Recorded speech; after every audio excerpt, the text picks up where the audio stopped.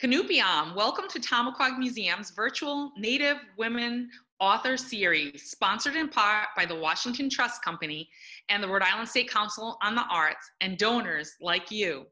We are commemorating the 100th anniversary of the 19th Amendment and Native women leadership, advocacy, and matrilineal histories that inspired the women's suffrage movement. Today, we are featuring Elizabeth Hoover, who is an associate professor of American Studies at Brown University, where she also serves as the faculty chair of Brown's Native American and Indigenous Studies Initiative Steering Committee. Elizabeth descended from Mohawk and Mi'kmaq communities, focused uh, most focuses most of her work on food and environmental justice for Native communities. Her first book, The River is in Us, Fighting Toxics in a Mohawk Community, uh, published by the University of Minnesota Press in 2017, is an ethnographic exploration of Akwesasne Mohawks' response to Superfund contamination and environmental health research. Her second book, Project in Progress, From Garden Warriors to Good Seeds, Indigenizing the Local Food Movements, Exploring Native American Community-Based Farming and Gardening Projects. The ways in which people are defining and enacting concepts like food sovereignty, and seed sovereignty, the role of native chefs in the food movement, and the fight against fossil fuel industry to protect heritage foods. She also recently co-edited a book, Indigenous Food Sovereignty in the United States, with Devon, I don't know how to pronounce his last name, Mahesa. Um, Elizabeth has published articles about Native American food sovereignty and seed rematriation environmental reproductive justice in Native American communities, and tribal citizen science and community-based participatory research. She will be sharing about her work, books, and life through her Restoring Cultural Knowledge, Protecting Environments, and Regaining Health book talk today here at Tomaquag Museum, or I should say virtually here at Tomaquag Museum. Welcome to Elizabeth Hoover. We are so excited to have you here today. Thank you so much. All right, so we're all trying this for the first time, folks. We are going to try sharing my screen.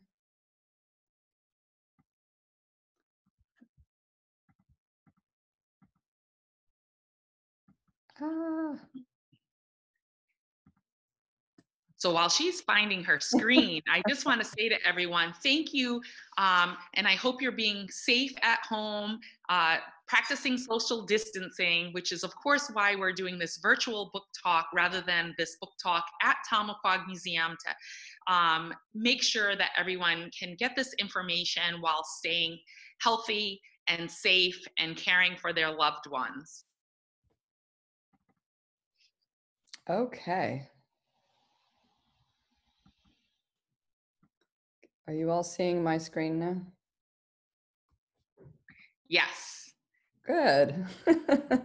Thank you for your patience from everybody. Isn't this fun? Okay. All right, you're still seeing my screen? Yes. Great. So, hi everybody. As Loren mentioned, today I'm going to be talking about restoring cultural knowledge, protecting environments, and regaining health. So this is going to bring together two projects that have already been published and then one that I am currently working on. Except, oh, there we go. So the, the book, as Loren mentioned, that is already published is The River is in Us, Fighting Toxics in a Mohawk Community about Akwesasne Mohawk people and their efforts to combat environmental contamination and restore health there in that community. And then also this edited volume um, that I was fortunate that Devon Mihesuah invited me to help her work on um, called Indigenous Food Sovereignty in the United States, Restoring Cultural Knowledge, Protecting Environments, and Regaining Health that brings together a lot of different authors that I will tell you about later. And then I'll also tell you about From Garden Warriors to Good Seeds, Indigenizing the Local Food Movement, which is a book that I am currently working on and may actually get some progress on since we are all stuck in our houses right now. Um, so just to give you a little roadmap of where we're going in talking about the Akwesasne Mohawk project, um, I'm going to talk about some of the environmental contamination, the sources there, the health research that happened, um, and then the way that the community really reshaped how environmental health research is done in Native communities um, by structuring the studies so that people got their results reported back. And this then impacted other health interventions. Um, and then some ongoing food revival projects. So I like to, I started the book and I like to um, start talks in this area by thinking about the Haudenosaunee creation story, um, or a very, very condensed version of it. So basically, um, and again, this is a, a, super condensed version, but everybody was living in the sky world at one point, um, and the, the chief, his wife, um, fell through a hole. There was a, a tree in the center of the sky world, and he uprooted that tree, and she peered down through and fell down through this hole. Um, and she's plummeting toward the watery, dark world below. The animals look up and they see her coming towards them rapidly. And so the geese went up to catch her in their wings so that she wouldn't be falling down so hard. The turtle offered his back as a, a place for her to rest.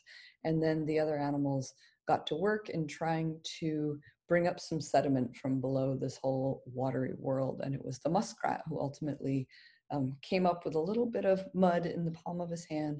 And so she spread that on the back of the turtle and she danced around and, and made it bigger and made this turtle island that, that we live on today.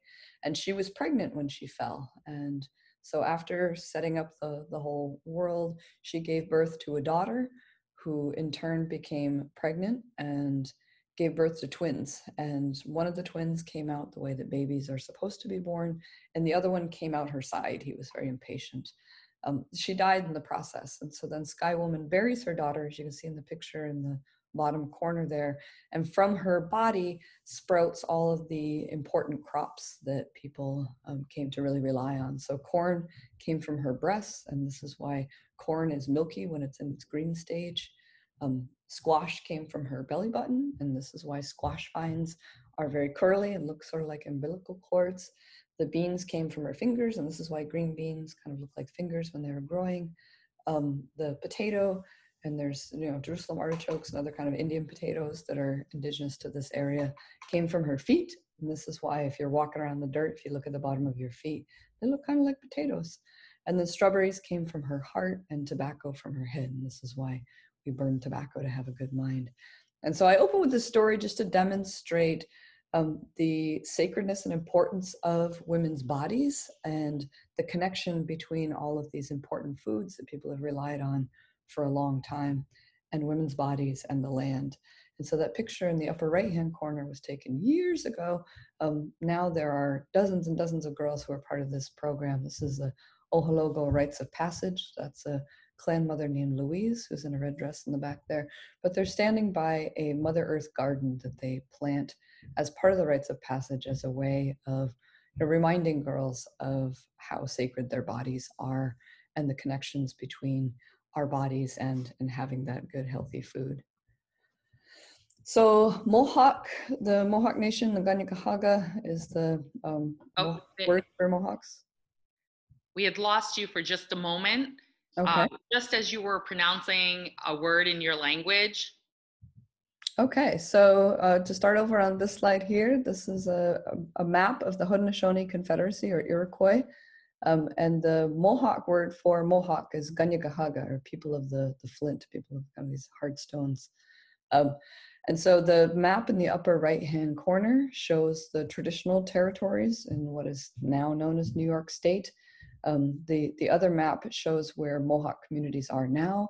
After the Revolutionary War, everybody got kind of shoved up north by settlers coming in and, and taking everything and burning down cornfields.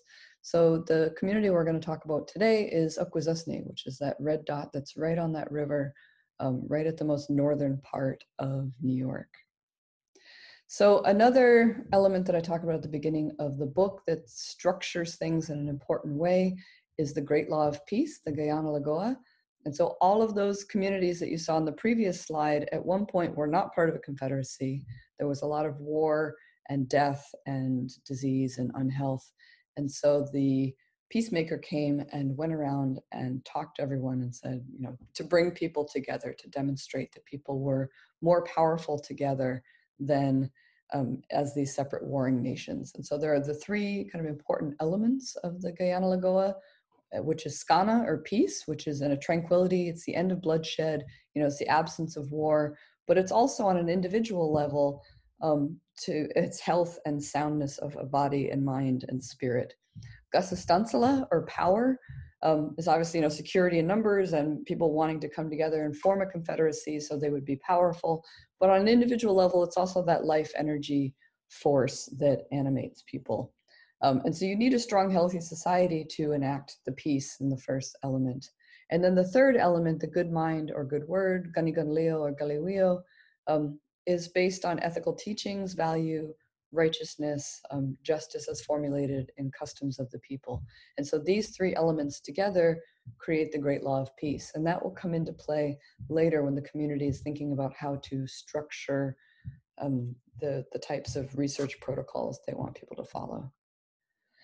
And then as part of this too, I want us to be thinking about food sovereignty. Um, there's an international peasant organization called La Via Campesina that in the 1990s really started championing this term food sovereignty. Um, and they had a number of different meetings, including this one in Mali in 2007. And they came up with this declaration and defined food sovereignty as the right of peoples to healthy and culturally appropriate food produced through ecologically sound and sustainable methods, and their right to define their own food and agricultural systems. And this obviously, this ability to be food sovereign can be impacted by environmental contamination. And this photo here, this is Kenny Perkins holding a ear of Mohawk red bread corn that's in the green stage. And then in thinking about indigenous food sovereignty specifically, because it's a little different perhaps in some indigenous communities than other state communities, but recognizing the social, cultural, and economic relationships that underlie community food sharing and that need to be nurtured. So there's a real focus on um, relationships, the sacred responsibilities to nurture these relationships to land based food and political systems. Um, so Native people have said, well, we don't just want any land to produce food, we want our land specifically and to be able to take care of that land and all of the communities on that land. And these kinship, these communities, are really thought about and demonstrated through the Ohén:ton Karihwatéhkwen, or the um, Thanksgiving address, the, the words that become before all else. And so this is a, a long prayer. If anybody's been to Haudenosaunee gatherings, you've probably heard it as something that opens and closes a lot of gatherings. And it takes time to recognize the and give thanks for all of the different communities. So for people, for plants, for birds, for fish, for trees, um, for the sun, for the moon, for the earth. And so all of these different elements people take time to give thanks for and to recognize in kinship ways. So you talk about, you know, the grandmother moon, the elder brother, the sun, and recognizing the interconnectedness and importance of that. And so the part of it, because we're going to be talking a lot about fish as part of this book, um, there's a section in there on fish that we turn our minds to all the fish, life in the water. They were instructed to cleanse and purify the water. They also give themselves to us as food. We are grateful that we can still find pure water. So now we turn to the fish and send our greetings and thanks. Now our minds are one. So again, thinking about our obligations to the fish, the fish's obligations to people, um, and to the environment. And so this circle in which everybody has to take care of each other, that again is broken when people contaminate that environment. So this is a map of Akwesasne. It shares borders with New York State, Ontario, and Quebec. And um, when I was giving people in the community drafts of this book to read, they specifically wanted it worded that way. So the section in yellow, New York State considers to be within its jurisdiction. The section in pink, um, Quebec considers to be within its jurisdiction. And the section in purple, Ontario considers to be within its jurisdiction. But Akwesasne says, no, we're a, a sovereign nation. Um, and there are signs along Route 37 or have been letting state troopers know they're no longer in New York State, but they've entered a sovereign nation that happens to share borders with New York State. Um, but as you can see, that green line through the middle there is the international border. When it was put in place after um, the, the Revolutionary War, people there were told that the border would go uh, eight feet over the head of the tallest Indian. It wasn't supposed to interrupt anybody's lives. And uh, quite the contrary, it is very disruptive. And so it's, you know, to get to the Cornwall Island portion of the community, you have to drive over a bridge and go through customs and, and show documents. And it's a pretty big aggravation. The St. Lawrence River there, the gray band that also uh, passes through the community in the 1950s, um, they decided to make that into the St. Lawrence Seaway in order to make it so that ships could go from the Atlantic up into the Great Lakes, as you can see on that little subset of the map there. Um, and this was very disruptive to the community. It also uh, built the Moses Saunders Power Dam upstream from the community, which provided cheap hydroelectric power. And so those red circles on the maps are different um, industries that then thrived on that hydroelectric power.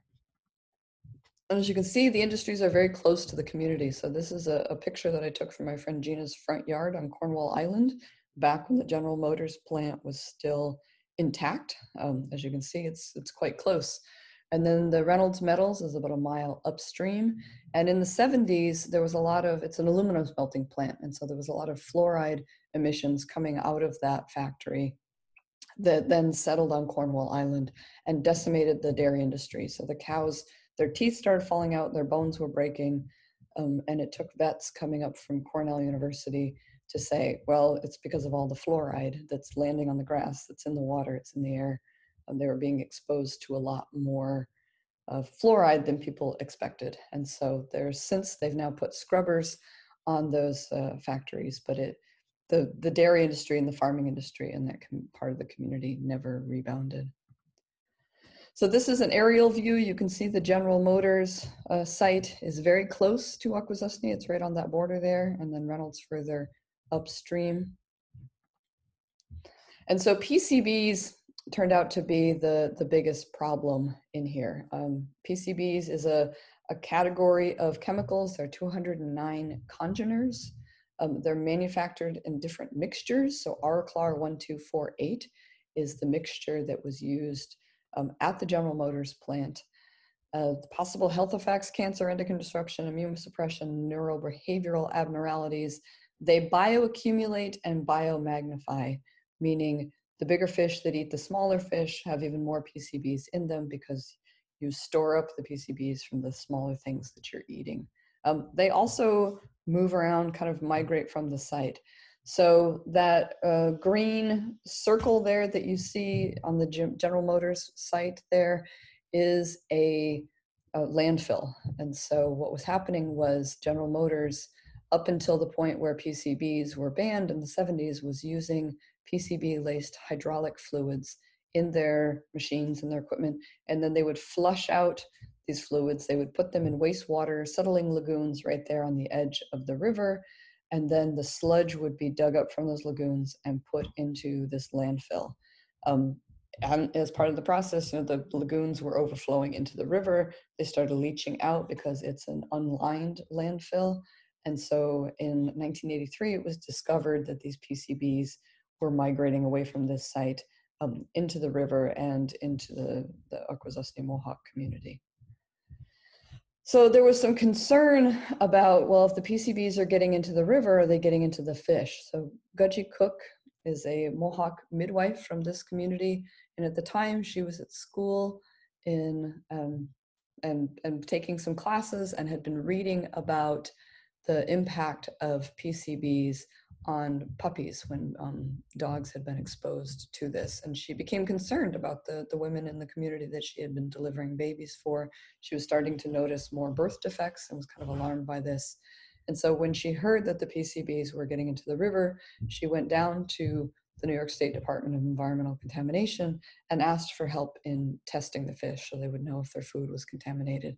And as you can see from these different newspaper clippings here, um, so I was very fortunate that when I was doing interviews in Akwesasne, um, the chief at the time, uh, Mr. Ransom, had collected all of these uh, fantastic newspaper articles over the years, and he gave me this giant scrapbook. And so some of these clippings are from that.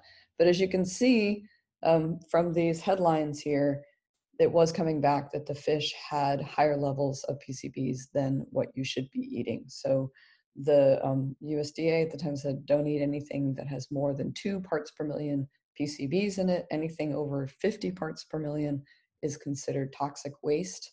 And some of these fish had up to 30 parts per million. They found um, turtles that had 3,000 parts per million. Um, so these poor turtles were kind of hazardous waste that was walking around. And as you heard from the earlier story, turtles are really important to this community. Um, and so it was really considered an affront when the turtles themselves were also considered toxic. And so then once um, it was determined that yes, the fish that people had been eating in great quantities had PCBs, Katsi became concerned about the highest people on the food chain, the babies, um, and whether they were being exposed to PCBs. So should she be recommending that women be breastfeeding? Um, and so she went to the Department of Health for New York State, and they collaborated with the State University of New York at Albany and did a, a, a trial breast milk study. Um, and as you can see from these headlines, they found that yes, women who ate fish had higher levels of breast milk or PCBs in their breast milk. And as women um, cut back on their fish consumption, then the levels of PCBs went down. And this was an important initial study, and it grew into many, many more studies because as part of it, um, the, the women who were part of the study and Katsi herself said that no, we're not going to run this like other kinds of health studies have been run. Um, you're not going to send white guys in lab coats to go collect breast milk from these women. They trained Mohawk women to go and collect these samples from other women, um, people that these women would trust. And so that was an important element um, and people got their results sent back to them.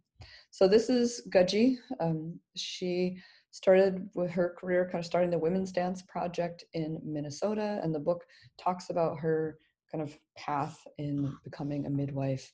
Um, when she got back to Akwesasne, she started the Mother's Milk Project to test breast milk to see if you know women's breast milk was safe, and then that turned into the first environment research project. So you can see this painting from Sherelle Tahi here, which um, demonstrates how the first environment that people are exposed to is in the womb. And so it was important to them that, you know, thinking about how do you protect babies in that first environment? How do you make sure that it's a safe and clean and healthy environment?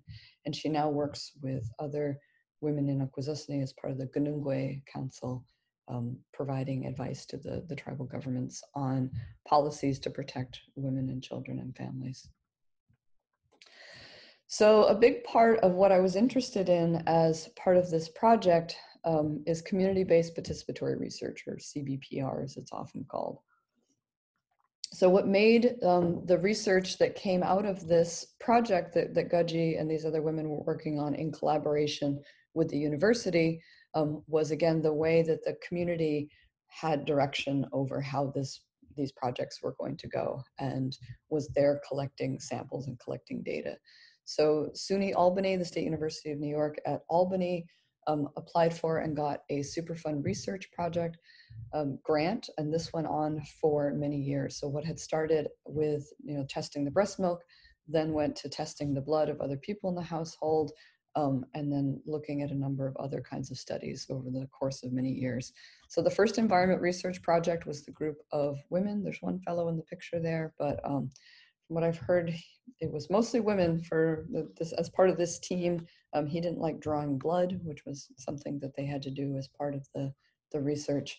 And the Akwesasne Task Force on the Environment is a grassroots organization in Akwesasne that helps to bring together people from all of the different tribal governments. So because Akwesasne is split by the um, international border, there is a tribal government on the southern half of the community, the St. Regis Mohawk tribe, there's a tribal government on the northern community, the Mohawk Council of Akwesasne, and then there's also a traditional government, um, the Mohawk Nation Council of Chiefs. So because there are so many governments there, the Akwesasne Task Force on the Environment was a way of bringing people together from all those different entities and providing a voice for the community and advocating for um, the best environmental cleanup. And so all of these different organizations were working together on these health studies. And often, you know, if there are any researchers or, or lab students that end up watching this, um, when you do a research project, you have to go through your university's um, IRB, the Institutional Review Board, and they determine whether your project is okay to carry forward. They make sure you're not going to harm any of your human subjects. And what the Akwesasne Task Force on the Environment was saying was, well, but nobody asked us in particular. You know, people just sort of came up wanting to do projects. And so they developed a Good Mind research protocol based on the elements of the Great Law that I described earlier. So um, of, of peace and, and the good mind and strength. And so in thinking about peace, um, there'll be peace between the, the researchers and the community if there's mutual respect that's upheld um, and thinking about how to maintain a good mind if there is equity between the groups. And so as part of that, you know, thinking about when grant money comes in for these projects, making sure that some of that money was spent in the, the community, not just um, down in the labs and um, empowerment. So making sure people got their results back and also all of the papers that were published based on these research projects included Mohawk authors, included people um, who had helped to collect the, the data and analyze that data alongside the scientists. So there were uh, over 50 papers, articles that came out of that research um, that you know, examining how the exposure to PCBs impacted people's health. Um, they found higher rates of diabetes for people that had higher levels of PCB in their body, um, higher rates of heart disease, decreased thyroid function, um, lower testosterone in male participants. The timing of menarche, or when a girl gets her first period, uh, was impacted. So girls that had higher levels of PCBs had an earlier first period. Um, there was some slight uh, impacts to how well people performed on cognitive and memory tests. And then a part of a more recent study on ovulation. Um, so it was harder for a woman to have a regular ovulatory cycle if she had been exposed to PCBs, um, which impacts a woman's ability to get pregnant and carry that baby to term. So one of the things that I was interested in talking to people about um, as part of this project. So I went and lived in Akwesasne for about a year and you know interviewed everybody that would talk to me basically about how this had impacted people's lives. And about three quarters of the people that I talked to, um, when I asked, you know, did these different fish advisories that were passed after the research came out impact how much fish they were eating? And most people said yes, that they had dramatically decreased or entirely ceased eating local fish. Um, for some of them, it was after the fish advisories were passed that recommended that women of childbearing age and, and young folks not eat local fish. Um, so some people who weren't even in that category, so I know often men would stop eating fish because their wives weren't cooking it, or they assume like, well, she can't eat it, maybe I shouldn't be eating it either. But people were also noticing changes in fish, or had relatives who were uh, fisher people who told them about noticing uh, physical differences in the fish. Um, you know, a few people that I talked to said that they kept eating fish because they felt a cultural obligation to it. So if you remember earlier, the elements of the Ohén:ton Karihwatéhkwen that talked about um, the role of fish and the obligations to fish. Um, one man that I talked to said, well, if the fish keep offering themselves up, if I say no and I don't eat them, um, they're going to go away because that's what happens when you don't appreciate something. There was concern about the cultural impacts of not eating fish. Um, so if kids weren't going out on the river with their grandparents, they weren't learning um, how to tie the nets to, to catch the fish. They weren't spending that time with their grandpas. They weren't learning the words for the fish and textures of fish and specific names for them. Um, so there was concerns about what would that mean socially to not be spending that kind of time. And so this leads to the idea of environmental reproductive justice that Katsi developed as part of her work. Um, so in thinking about environmental justice or, you know, the are people being exposed disproportionately to environmental harms? Um, and then also thinking about reproductive justice, you know, the ability of women to have babies or not have babies and raise those kids in safe, culturally relevant environments. Um, and so bringing together those concepts Katsi developed this idea of environmental reproductive justice or ensuring that a community's reproductive capabilities are not inhibited by environmental contamination. And as you saw in the previous slides, um, if people's abilities to ovulate regularly are impacted, if people's testosterone levels are impacted, then that's going to um, inhibit people's reproductive capabilities. But then also considering the impact of environmental contamination on the reproduction of knowledge and culturally informed citizens. So if you have to raise your kids like suburban white kids because they can't be out on the land and catching the local food, that's also um, impacting uh, reproduction in a way. So part of what I was interested in again um, in talking to people who had been part of all these different health studies was this process of community-based participatory research and especially the, the last box there, or the dissemination of findings. Um, what was it like for people who were getting their results sent back to them who had been part of this study? So I also, um, in addition to interviewing 63 Akwesaslonan or people from Akwesasne, I also talked to seven different scientists at SUNY Albany who had been part of this research to find out what that process was like for them. Um, for the community members that I talked to, some were happy that they got their information back. Um, I hope everybody can still see me okay. So some, you know, the community members, some were happy that they got their information back.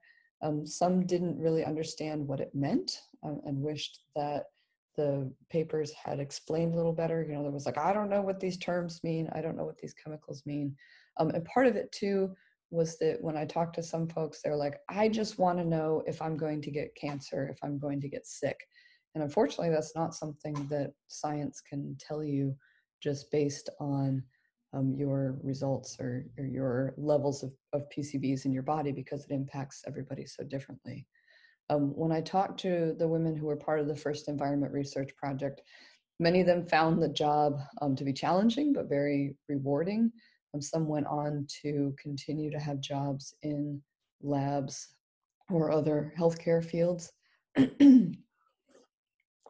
when I talked to the, the scientists, um, many talked about how they learned a lot from having to negotiate with the community and that they thought in the end they got better results because people who might not have taken part in the project did because it was people from their own community who were at their door asking them to take part in these studies. Um, so the scientists talked about also having learned as part of this process and carrying that learning forward into their own work and their, their next round of studies they're working on with different communities. So one of the suggestions that people had um, when I asked, okay, if you know you could do things differently for the next round of studies, um, what would you do? and part of it was around like well letters went back to individual people. Um, there were big community meetings that um, were not terribly well attended at the time. And some people suggested this idea of family meetings. So um, you know one woman said well this is how we convey information here. We get together not as a whole huge community but in our family groups um, and so thinking about how do you target the social body rather than just individual bodies when you're going to get information back to people. Um, and so this is a, a sociologist here, um, Professor O'Neill says we must insist then that the family should be a thinking body whose common sense should be fostered in any health community and by any practical means. Um, and so this has also come to apply to other kinds of health interventions that we'll, we'll talk about. Um, so when I ask people Okay, so you know, what do you think is the main health concern in the community right now? Now that you know, I'll talk a little bit about how a lot of the contamination has been cleaned up. It's still a concern, but what is the most pressing health concern? And the thing that most people said was diabetes, as in many, many, many Native communities, unfortunately. So about a quarter of the community is diabetic, according to the folks that I talked to who run the diabetes program. Um, some people in the community think this number is much higher. Um, it's really impacted them heavily.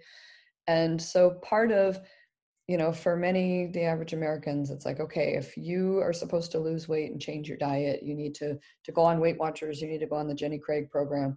Um, but it's about you as an individual. And what people were saying is, well, that doesn't really work here because um, eating is such a social activity. So everybody eats together, there's the birthday dinners and the Sunday dinners, and you know when radio bingo's on, everybody gets together to eat. Um, and so you can't just say, okay, we're going to target one person at a time who may be diabetic or pre-diabetic and get that one person to change their diet because it's not going to work in a place where many people um, consider eating a very social activity. And so thinking about how do you get the entire family to work together um, in order to keep, in particular, that one person or everyone healthy.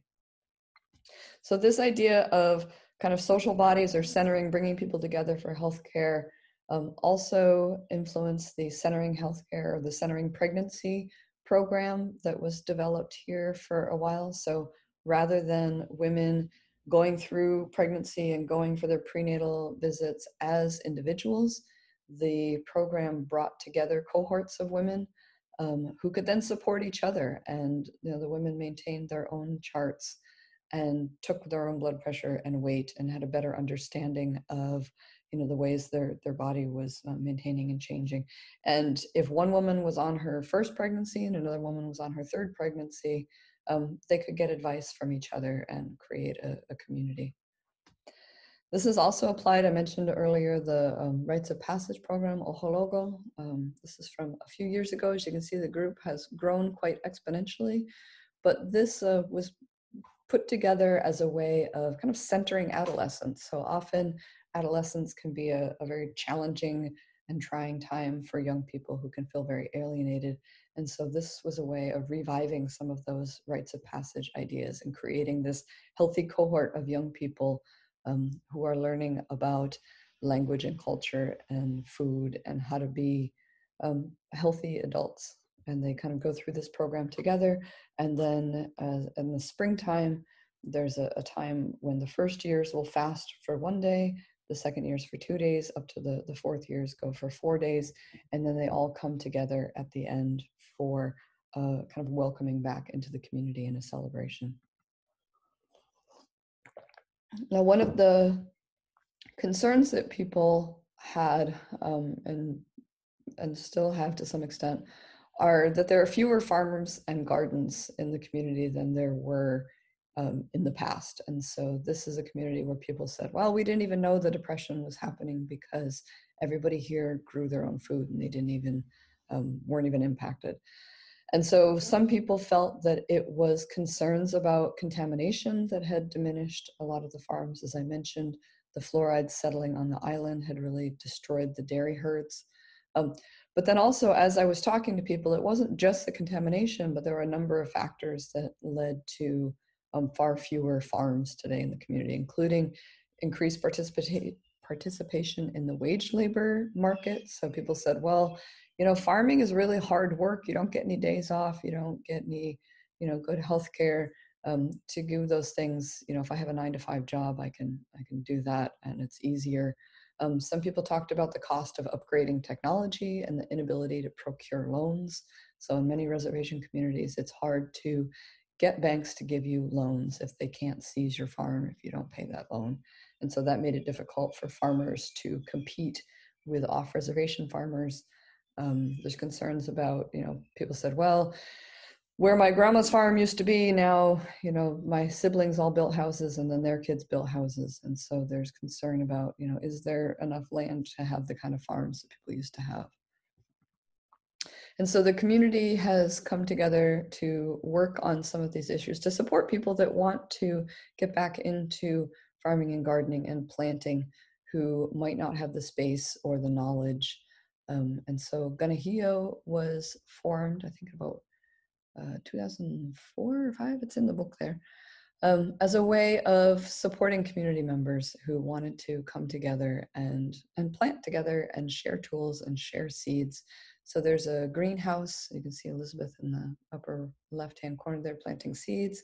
Um, Jean and Henry had a chicken project for a while where they, they got the funds um, through Kanenhi:io to um, set up the fence and buy the chickens there. In the lower left-hand corner, those are some kids from the Akwesasne Freedom School harvesting some white corn from the site. Um, so it was a program developed to support people and create community in that way. Um, also, Azajidawadu, or the Akwesasne Cultural Restoration. So as part of the Superfund process, Um, so after it was determined that General Motors had been leaching all of this contamination into the environment, it was declared a Superfund site. Um, and as part of that, there are a number of steps that the company then had to go through as part of the cleanup. But part of the determination is a natural resources damages assessment or figuring out um, to what extent did the, the local community suffered from not having access to these natural resources. But then here they also specifically did a cultural resources damages assessment. So how do you um, fix the fact that there wasn't all of this cultural knowledge transmission happening because people weren't interacting with the environment in the same way? And so Azajidawadu has set up a number of programs where they hired masters, as you can see these elders up in the corner and others who um, then worked with apprentices to teach them that knowledge, like trapping and skinning and traditional medicines and farming and basket making. And there were language classes that were worked into this as well. So it was a way of trying to um, reclaim some of that loss that might have happened. And then the St. Regis Mohawk Tribe Environment Division, which is sort of the EPA of um, of Akwesasne there on the, the southern half, um, really is one of the strongest, I think, tribal environment divisions in the country because a number of people went and got degrees in different natural science fields and then came back to work for the community.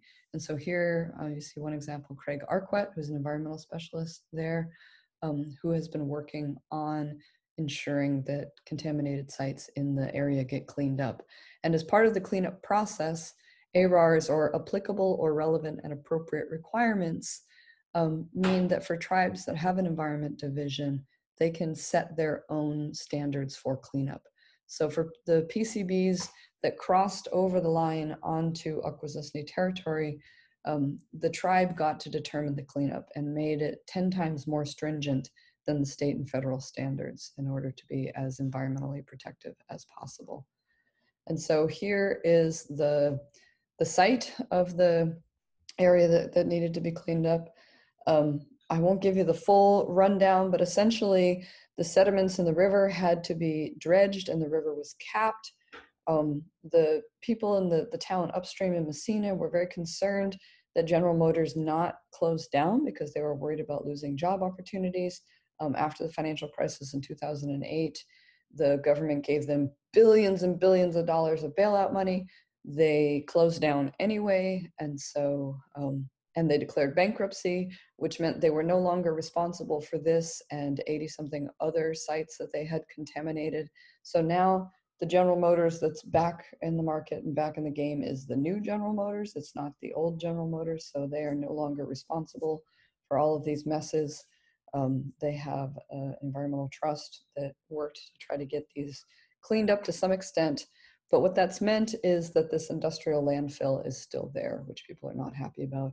But the entire factory was um, leveled and taken away in rail cars, essentially. So now, after having dealt um, with General Motors for all these years and all the headaches, the St. Regis Mohawk Tribe Environment Division is working hard to monitor another site um, on the Grass River from another factory there and is really kind of looking closely to make sure that the most rigorous cleanup possible is happening because again of all the experience they had previously with the other Superfund site. There's also a new fish advisory that the Environment Division developed. Um, so previously, as I mentioned, it was sort of like just don't eat any local fish. And the assumption was that people, you know, they didn't trust people to kind of figure out what they should and shouldn't eat. And so um, the Environment Division got some funding and went and did a lot more nuanced testing of all the different fishes now that the, the river has been remediated to some extent. And what they found is that some are okay, some you still want to avoid, um, but there are some that you can have, you know, a couple of fish a month and hopefully not have your health impacted. And that also includes a map kind of demonstrating where they recommend people do and don't fish. So as I mentioned, the Grass River is a site they're still working on getting cleaned up. They don't recommend you fish over there, but there are other areas um, where they say that people can try to get some fish. So getting back to um, Kanenhi:io, the, the group that I was working with, you know, while I was up in Akwesasne, I spent a lot of time hanging out with these folks and, you know, pulling weeds and butchering chickens and all the things that I had done as a kid growing up on a little farm in upstate New York. Um, and as part of that, you know, we'd often wonder, how are other communities doing this? How are other people getting youth involved? How are people getting funding? Um, and so, as part of these conversations that I was having with folks here, I started going to all these different food sovereignty summits. Um, and then I got a notion to see where's our, our map here. Um, I wanted to go visit all of these different groups that I started meeting at these food summits. So I got some funding jumped in the car and drove 20,000 miles around the country. I was accompanied for part of it by a filmmaker named Angelo Baca, who took a lot of photos and uh, a video that he's going to work with at some point to create a documentary. Um, but I went to all these different communities. There's about 40 communities spread all around um, as, to, to ask people how they were navigating this farming and gardening and other kinds of food sovereignty projects. So as part of it, I developed this blog, Garden Warriors to Good Seeds, Indigenizing Local Food Movement, in part because people were like, I want to know what everybody else is working on. Um, but somebody has to, you know, we can't all just be driving all over creation. Somebody has to stay and actually plant the food.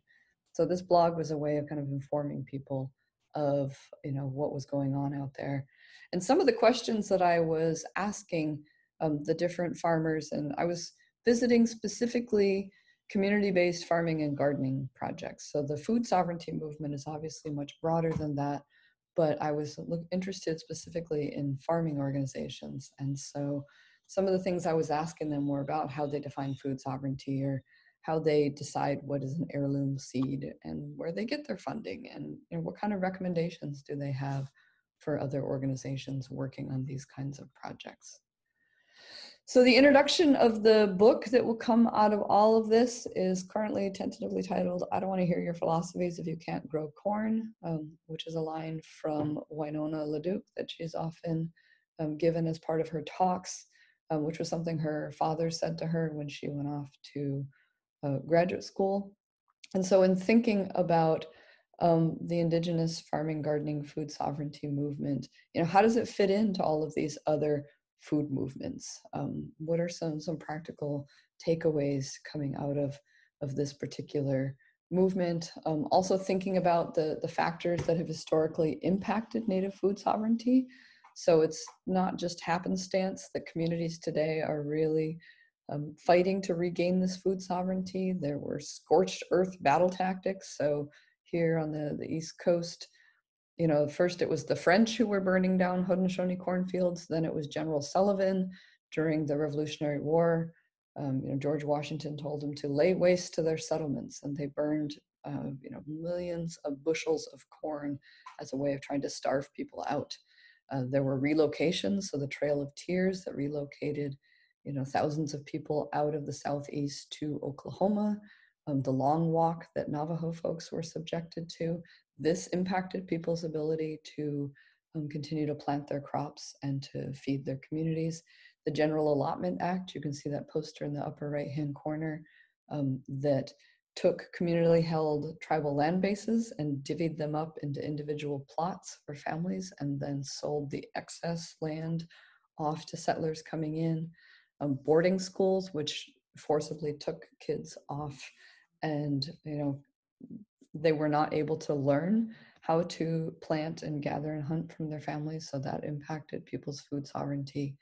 Um, urban relocation in the 50s, so you had people who were sent to live in cities and didn't have as much access to traditional foods.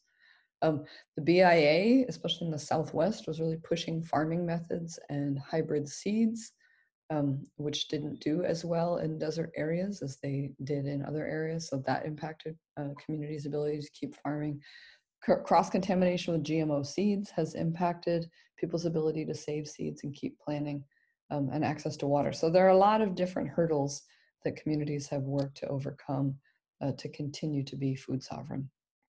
So the first chapter um, is based on an article that I wrote for the American Indian Culture Research Journal called You Can't Say You're Sovereign If You Can't Feed Yourself Defining and Enacting Food Sovereignty in American Indian Community Gardening. So, as part of this project, I went around and asked people, How do you define food sovereignty for your community? And it really was resting on the restoration of physical, cultural, and spiritual health, um, having access to culturally appropriate foods, the importance of relationships between people and each other, and then people in the land and people to the food, um, thinking about individual, community, tribal self sufficiency and control over food systems, um, economic independence, access to food, education. So, all of these things uh, will be talked about in the first chapter. And then the second chapter is called Seed Sovereignty and Our Living Relatives. So, because I was focused specifically on community-based farming and gardening projects, you know, seeds are a big part of that for many communities. Um, so in thinking about how do we define seed sovereignty specifically as part of the of food movement. So this is Clayton Brascoupé here. He started the Traditional Native American Farmers Association. And he talks about seed sovereignty as protecting our living relatives so they can't be molested, contaminated, or imprisoned. So basically, they can't be genetically modified, they can't be patented, they can't be taken from communities. And then Rowan White, who has been a huge part of the um, seed sovereignty movement and the seed rematriation movement, talks about our inherent right to save seed and pass it on to future generations. So Rowan helps to direct the Indigenous Seed Keepers Network, which uh, runs under the Native American Food Sovereignty Alliance. And so I'll be writing about that as part of this chapter. So all of the different uh, seed exchanges and different classes um, and efforts to to circulate heirloom seeds within native communities. And as part of that, the seed rematriation movement. So the idea of getting seeds back to, um, you know, from different institutions back to the indigenous people where those seeds came from as a way of connecting indigenous people to seeds, seeds to the land that they were originally developed for, and in the process connecting people to the land. The third chapter is You Are What You Cook, Native American Chefs and Gastro Diplomacy. So thinking about how Native chefs had, have started to come together to um, for multiple purposes. So to use food as a way of educating the broader public about Native people. So this idea of gastro diplomacy or you know educating people about natives through getting them interested in food. Like this is Sean cooking at the James Beard House. Um, so not generally an audience that would probably be thinking about Native folks, but he got the opportunity to get in there and and talk to them and um, you know get them thinking about whose land that they're on. But then also there's a big push of Native chefs gathering together to mentor. You can see the the bottom there that the Great Lakes uh, Food Summit. There's an opportunity for senior chefs to um, mentor younger chefs as a way of of getting more of this food into communities themselves. So making sure that Indigenous community members have access to um, food and are excited about you know, healthy Indigenous food. And so, right now, during this time when everybody is stuck at home, a lot of these poor chefs, um, like people in the food industry everywhere, are really hurting. And so, I think some are going to start offering some online cooking classes. I saw. So, definitely keep an eye out for that, how you can support some native chefs uh, during this tight time. The fourth chapter is called You Can't Drink Oil. Um, so, if anybody was at any of the protests or gatherings or actions um, in support of people against the Dakota Access Pipeline, you remember the chant, You can't drink oil, keep it in the soil. Uh, so, this chapter is thinking about the convergences of the anti pipeline movements, the you know, anti-extractive industry folks who are trying to keep mines and pipelines away, and the food sovereignty movement. So thinking about how you know foods have been held up as something more important than fossil fuels so how do you keep um, these kind of nasty industries away from the land that people need to rely on for food and so that bottom photo there is people planting a sacred ponca corn in the path of the keystone pipeline as a way of further trying to prevent that from coming through. And then the fifth chapter um, looks at some of the successes and challenges in food sovereignty organizing and the ways that these communities have overcome some of these challenges, um, and then the types of advice that they have for other people trying to um, get organizations like this going. So, some of the groups that I talked to had been around for 25 years, some had been around for six months. And so, looking at the types of advice that they offered for other people who might want to get started down this path. And then the conclusion um, is, you know, looking at the growing movement of indigenous food sovereignty. So I was lucky to have the opportunity to go to the Uchpumka Corn Conference in Belize recently, and then the year before, um, the International Indigenous Corn Conference in Mexico. So looking at how indigenous people elsewhere also um, are struggling with a lot of the same things as farmers here and working to overcome those things. So as part of working on this project, um, Devon knew that I was working on this and thinking about food sovereignty a lot. And so she invited me to help work on this book, Indigenous Food Sovereignty in the United States, which was fabulous because it brings together a lot of different voices from people that you wouldn't ordinarily hear from in university press books. So we reached out to chefs and farmers and seed keepers and fisher people. Um, and so there's lots of, of interesting um, folks that you're going to hear from here. So I'm just going to give you kind of a, a brief rundown of what's in the book. Um, and then I would encourage you to, to pop online and, and buy that book. It's available on the University of Oklahoma website or your local bookstores. We've been telling people Birch Bark Books in Minneapolis is one of my favorites. Um, they've been carrying it as well. So you can order from them online or um, stop in and grab it. The first chapter uh, is called uh, Voices from the Indigenous Food Movement, and it brings together personal reflections from ethnobotanists and students and chefs and nutritionists and you know insect ecologists and lawyers um, all thinking about what food sovereignty means to them and how they got involved in this movement. The the next chapter uh, is based on this article i mentioned previously you can't say you're sovereign if you can't feed yourself. Um, then devon has a, a, chapter searching for haknip Achukma. She will have to tell me how to say that better later. Um, but some of the challenges to food sovereignty initiatives in Oklahoma. So the, some of the political, economic, and social obstacles to creating and maintaining food sovereignty um, and the ways that communities are working past those. The next chapter uh, is from some of our fantastic Hawaiian colleagues about grassroots growing through shared responsibility um, that looks at some efforts to restore Hawaii's social ecological systems by concentrating on human relationships with each other, as well as with the land and the water. And this is a photo from one of their events. Um, Ialupu, which means move forward together, is a network that focuses on creating empowering community-based biocultural resource management under the umbrella of this backbone organization that they're writing about. The next chapter, Alaska Native Perceptions of Food, Health, and Community Well-Being Challenges Nutritional Colonialism, um, is by Melanie Lindholm. So looking at how, you know, the, the challenges of loss of subsistence lifestyle, how that's created a decrease in cultural knowledge and also an increase in metabolic disorders, but then also how Alaska Native individuals and communities have adapted to and are working against some of those changes. The next chapter is by Denisa Livingston, Healthy Diné Nation Initiatives, Empowering Our Communities.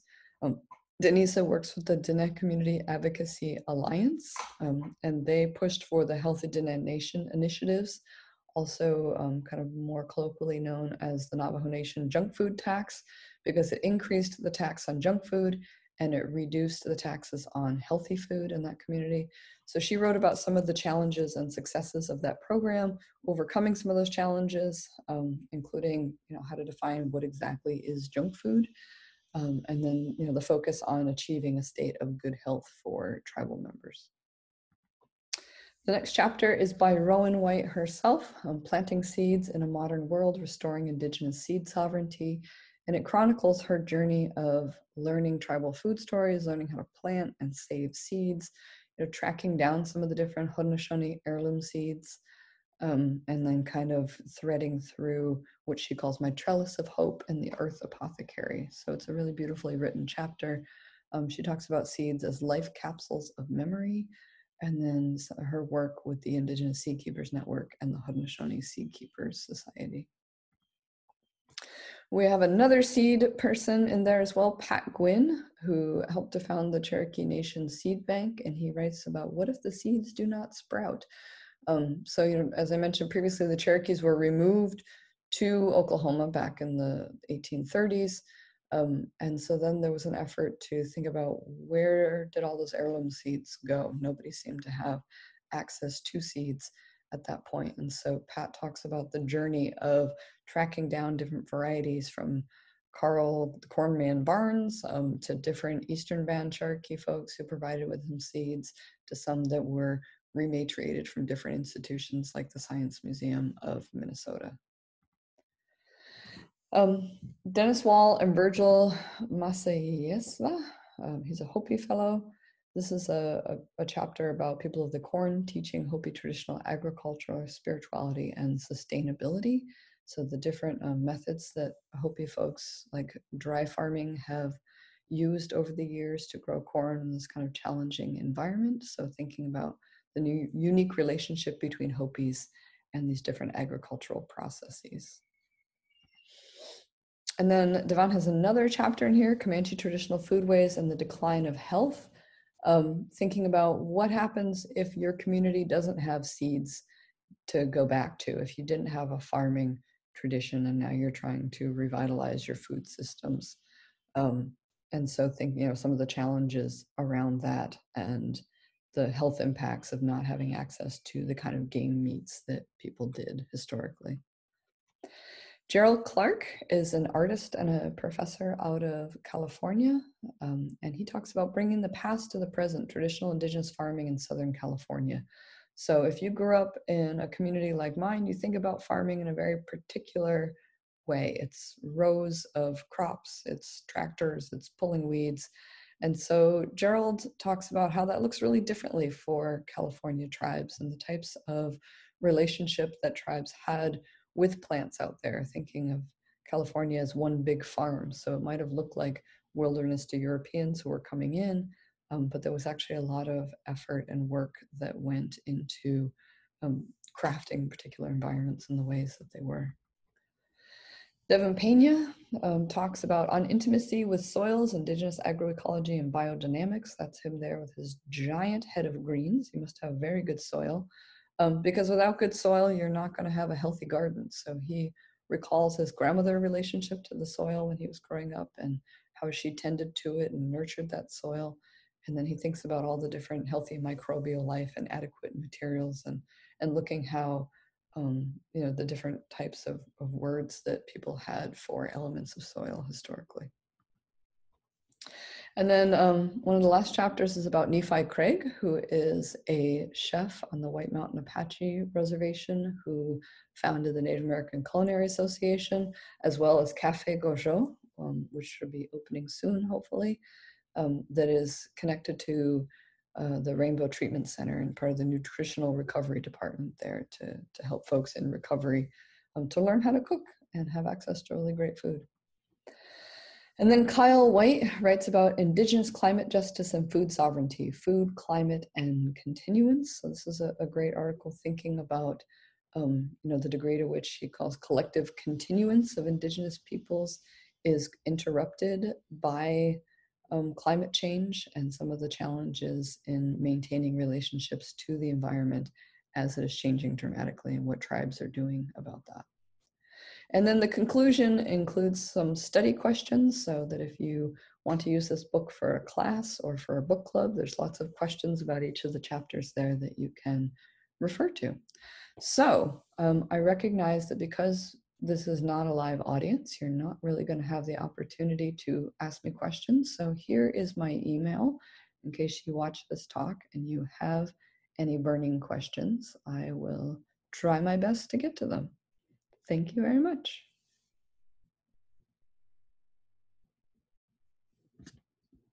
I think I unmuted. Thank you so much, Elizabeth. This was fantastic. Um, we thought since we don't have an audience, maybe we would have a little conversation afterwards and um, maybe ask a few questions. There was so many burning things that um, I felt were so powerful to talk about. But the first one that I thought I might ask you about, just in your traveling across the country, because you went in depth um, talking about the Haudenosaunee uh, Great Law and how that community uh, intertwined their protocols in their action, community based action research, um, uh, participatory research, I should say.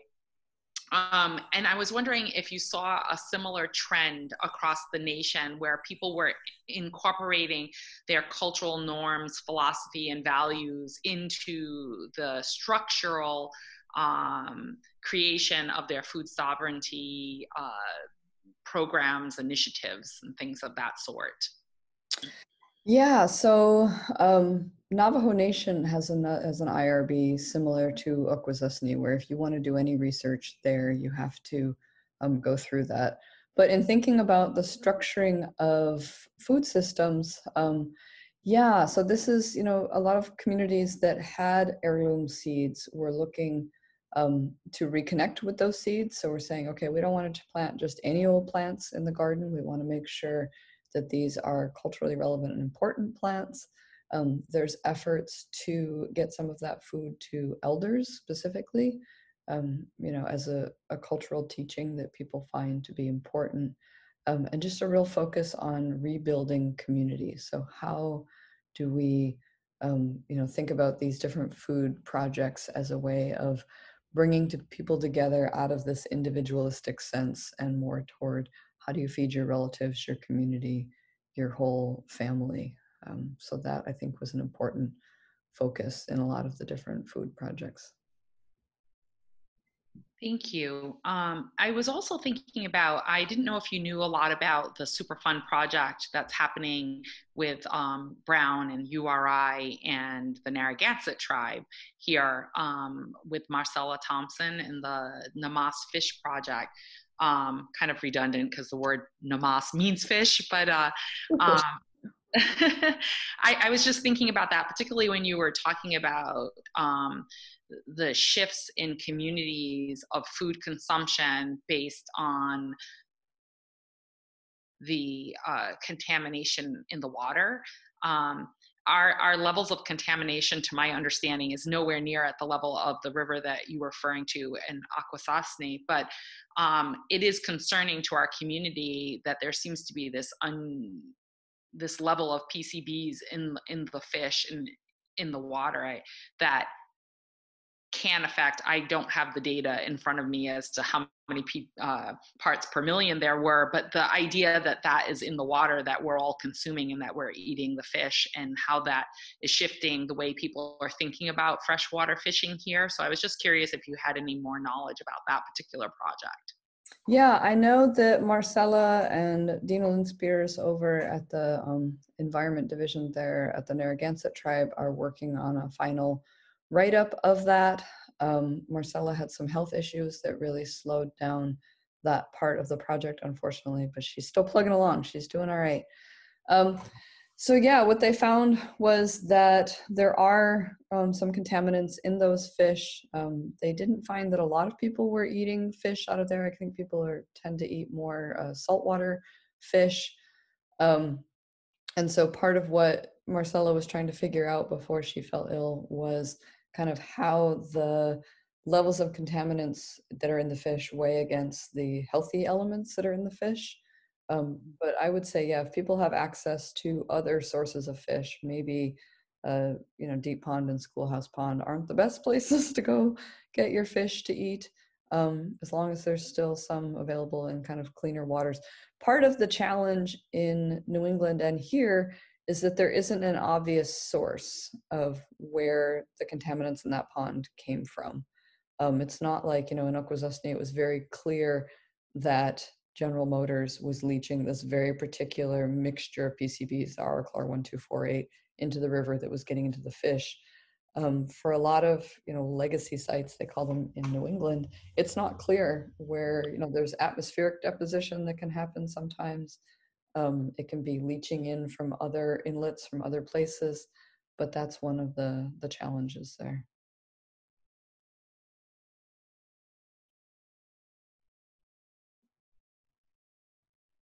There you go. There you go. My screen froze for a moment. Hopefully they heard your answer. Unfortunately, I didn't quite hear it, but you don't have to repeat it. I believe Silvermoon said that she's still able to hear sometimes when my screen has frozen. Um, the, the Museum is also partnering in the Namas Fish project more on the educational side. So we've hosted uh, community gatherings here to have talking circles. Silver Moon LaRose, who's also on this uh, Zoom, uh, led those um, talking circles uh, about maybe a year and a half or so ago and we continue to do educational projects they did um, some fish art projects here that were to help with the the later as they do the report um, a way in which to engage the community um, into the project in various ways so that kids can have activities that are connected to fish and fishing. Um, one of the things that always strikes me is our family um, very much spent a lot of time out on Schoolhouse Pond, uh, particularly fishing all year round, but particularly ice fishing. And I feel like that's when we had the most consumption of fish because in the summertime, as you said, there's all the saltwater access that we were doing. But um, as you can see, this year there was no salt, no ice fishing happening. Right. um, but a couple of winters ago, we had really strong winter, and there was quite a lot of ice fishing happening. And if you're fishing it, as our cultures um, understand if it if if um, the fish is giving its life for your life that you're not just wasting it you're eating it. So um, it'll be interesting to see how these results play out and what that's going to do in changing um, food ways and food systems here. Yeah. So, um, not to keep you on here too much longer, but I thought I'd ask one more question. Um, and this had to do with, um, I mean, there were so many interesting things. Um, Katsi Cook and the midwife, mm-hmm. um, I had read about her before, and that just so intrigues me and the work that she was doing there. Um, and so there's lots that people can read about in your book about that. Um, but the thing that uh, I was thinking of last was sort of the the the impact of health and wellness within indigenous communities because this seems to be pervasive across um, indigenous communities across the nation and really across the continent and maybe across all of the Americas um, is the idea of, of diabetes and, and the idea of how dieting in a Western way of thinking is ineffective. I thought that that was really powerful. And I wondered if um, maybe you would just uh, talk about maybe um, some of the strategies that you saw um, that were trying to change the the tide on on uh, diabetes and obesity and those other social uh, health issues, um, but doing it in a social group way. Yeah, one of the nutritionists that I talked to there in Akwesasne was talking about working with grandparents, trying to teach them how to make healthy snacks for the kids, but having to also work with kids because the grandmas would come and be like, well, the kid wants cheesy poofs. They don't want carrot sticks. And so, you know, getting the kids to understand that grandma doesn't hate you. That's not why she's trying to feed you vegetables because, you know, grandmas want to spoil their their kids. But um, there's one great article um, by the Hayes Conroy twins, and it's called Veggies and Visceralities or something like that. And part of what it talks about is that, you know, the foods – that most people are attached to in part come from because you have this emotional connection to them. So if your grandma makes you fry bread or fried chicken or um, lots of other you know things that nutritionists would look at and say this isn't healthy this is bad for you and you tell these kids like no this is bad you need to eat this kale because it's good for you um, the kid is like, oh, my, my grandma loves me. Why would she give me something that's bad? Um, you're mean and this stuff is bitter and terrible. So why am I supposed to trade? Um, rather than, you know, what they recommend instead is how do you develop positive emotional attachments to this food? How do you get kids to have a nice time and then associate these new foods with a nice time? So Dream of Wild Health is this great program in Minnesota that takes kids from the, the Twin Cities up to a farm in Hugo, Minnesota, and they learn how to plant the vegetables and they take care of them and they pick them and they cook lunch every day there on site. And so the kids are learning how to cook, they take turns. Um, and so they're preparing the food that they took care of in the garden there that they have kind of this affiliation with. And then they also um, offer cooking classes for their parents and grandparents as well. And so kind of developing these sort of like, oh, I have a different relationship with this food because I'm with my friends and we're having a nice time and you know she helped cook it and I'm going to be nice about it. Um, so I think that's a big part of it is not judging people's food choices and trying to make them feel bad and thinking that guilt and shame is the way to get people to um, switch over, but thinking about instead like you know instead of harping on get rid of this thing instead you shift a focus to how do we incorporate you know having a nice time around this other food that will um, give you more vitamins and minerals when you eat it you know, that's so true because I notice even in our own community when we're going out harvesting, you know, which is very physical and very community oriented. So if we're cranberry picking out in the wild, you know, in the the environment, it's such a family and community driven activity and your children um, are there all the way to elders and just this past year my grandson my first grandson miniki sumiquin he was like 18 months old so he has his first time going cranberry picking and it was so fun to watch him pick berries chew them all up and then spit them all out. But to this day he loves cranberries and cranberry sauce and cranberry things and it, it's from that sort of experience of already doing that and i can see your point of those social activities being such an important piece of um, of the food system whether that's uh, foraging or gardening or fishing or hunting it's all in our communities is done together. So the more that we can do that together the more healthy we are. I always feel so much more healthy when we're out in the field like that. So well, thank you so much, Elizabeth, for um, sharing with us. I hope um, people will go out and purchase or or use their fingers to do their walking and purchase um, your books. Um, I'm trying to see where you, uh, the river is in us, fighting toxins in Mohawk community, and food sovereignty in the United States um, to um, learn more about the things that you were talking about. We'll be excited to have your new book out soon. Um, I don't know how soon, but when it's ready, we'll be very excited to um, read it and learn more about the work that you're doing. I thank you so much for being here. Thank you. And I hope everybody who would have come in today who is watching this instead, you'll consider giving a donation on the website. We really want to keep around important little cultural institutions like this because once we're allowed out of the house again, we're really going to want to have these spaces still available. So yes, please drop in and leave a nice note for Loren. Yes, and and, and hopefully we'll be back on our normal schedule in May. We have a children's hour that's every Wednesday morning from 10 to 11. And when you were talking about that food systems and food gathering, um, our children's hour is intergenerational. So it's children of all ages and their caregivers. And we spend a lot of time out in the environment um, foraging and harvesting and planting. And um, last year, one of the activities that they did with Silver Moon is they actually uh, foraged for a salad. Oh, and you know, when when kids put all the things from the garden and from the landscape into the salad, um, and then eat it they're very connected to it. So we're we were very excited to be able to do more things. This year we're very much focusing on literature um, as with these authors series um, that we're doing with women authors.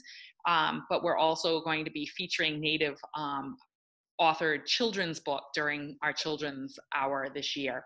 Um, but I want to say thank you again to you, Elizabeth, um, for sharing all your knowledge with us. And I'm thanking the audience for um, watching our premiere book talk for our Native Women uh, author series. So we're uh, going to be having um, Deborah Spears Moorehead. Uh, a Seaconke Wampanoag artist and author that will be in uh, April um, hopefully on site. If not, maybe virtually, or maybe we'll postpone it to May so that maybe we can get it on site. Um, we thank you all for watching during this time of social distancing, and we certainly hope you stay safe and healthy. And join us for more virtual programming. Our staff is working on ways right now to create opportunities for kids and families um, and elders that are home to um, be able to participate in our programming and continue to learn about Native history, culture, the arts, and the environment, which is so integral to all of our lives. So, um, we thank you so much, and we hope if you want to know more information about Tomaquag Museum that you visit our website at tomaquag, T-O-M-A-Q-U-A-G, M-U-S-E-U-M dot org. Um, we ha- will have updates. Um, there is a resource button for teachers and families uh, for a lot of great resources that we have. Everything from the First People's Road Tour to work that we did with PBS and with NPR that you can listen to audios and watch videos. Um, you can also check out all our social media, including YouTube, and maybe take some time and follow along and learn how to make your own dream catcher or cornhusk doll. Um, all of those are on our YouTube page. So thank you so much, Kutaputush. Um, and we so thank you for being here. Thank you.